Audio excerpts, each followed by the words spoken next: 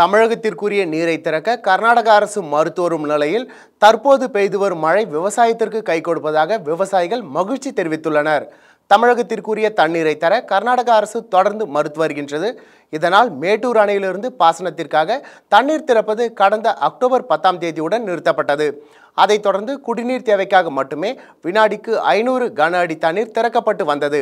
இந்த சூழலில் வடகிழக்கு பருவமழையின் காரணமாக மேற்கு தொடர்ச்சி மலைப்பகுதிகளில் அதிக அளவில் மழை பெய்து வருகின்றது.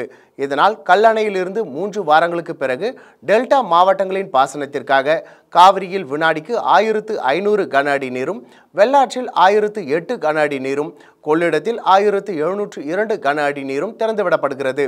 இது தற்போது சம்பா மற்றும் தாளடி நெற்பயிர்களின் சாகுபடிக்கு உதவுவதாக விவசாயிகள் மகிழ்ச்சி தெரிவித்துள்ளனர்.